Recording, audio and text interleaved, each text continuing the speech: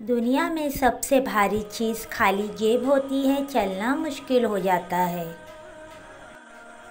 लोगों की बातों की वजह से अपना मकसद मत भूलो, एक बात याद रखो, कुत्तों के भोंकने से फ़कीरों की रिक्स कमी नहीं होती।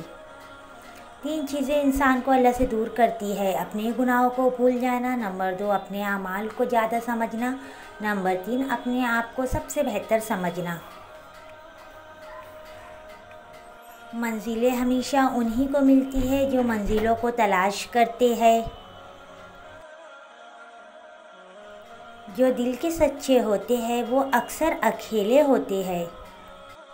कभी किसी को दुख मत दो, क्योंकि माफ़ी मांग लेने पर भी दिल में दर्द बाकी रहता है। जिस तरह दीवार में से कील निकलने पर सुराग बाकी रहता है।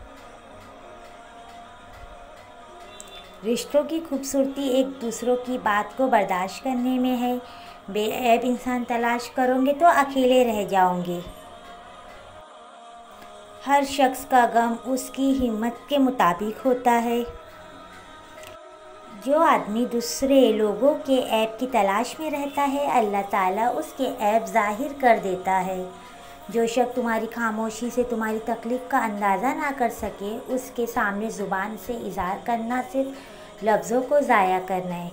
हज़रत अली ने फरमाया, हमेशा छोटी छोटी खुशियों का इस्तकबाल किया करो, क्योंकि उन्हीं के पीछे मोहब्बतों का सैलाब होता है।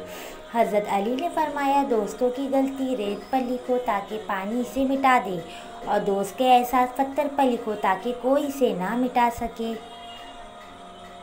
हज़रत अली रज़ी ने फरमाया, दोस्ती और मोहब्बत उनसे करो जो निभाना जानते हो, नफ़रत उनसे करो जो भुलाना जानते हो, और गुस्सा उन पर करो जो मनाना जानते हो।